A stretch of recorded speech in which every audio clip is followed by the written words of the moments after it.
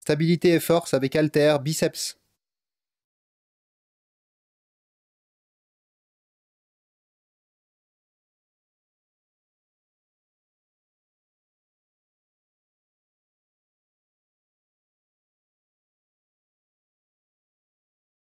Se tenir debout, les pieds écartés au niveau des épaules.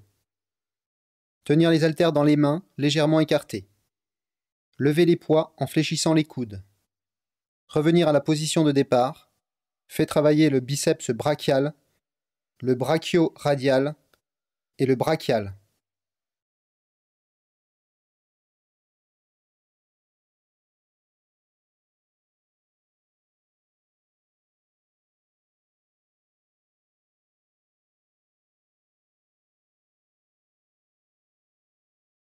Stabilité et force avec haltère, biceps.